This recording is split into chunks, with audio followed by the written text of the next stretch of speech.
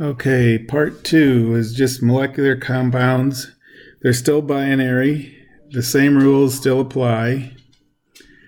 But now we have to use prefixes, which actually makes it easier going, going both directions. So we're going to start with name the formula.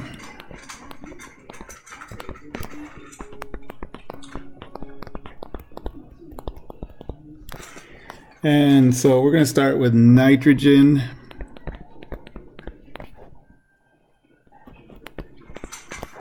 dioxide. The IDE tells you that it's binary. Now, nitrogen does not have a prefix. We don't put prefixes on the first one if there's only one. We don't use mononitrogen dioxide. It's just nitrogen dioxide. So right off it tells us that we have nitrogen dioxide NO2. Next is diphosphorus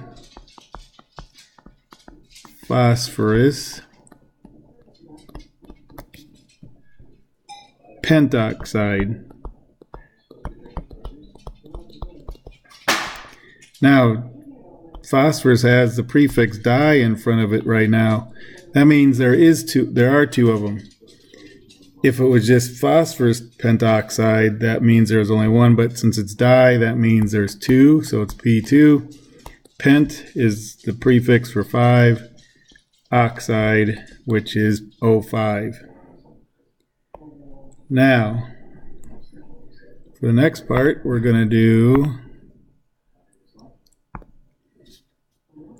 formula to name, and you have to know the prefixes for 1 through 8.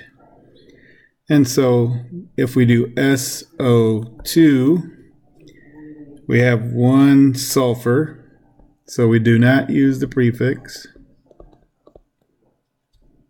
And then we have two oxygen, so it's dioxide. And then finally, if we have N2O5, now we have two nitrogens here. So now we do have to use a prefix. So it's dinitrogen pent because that we have five oxygens oxide and that is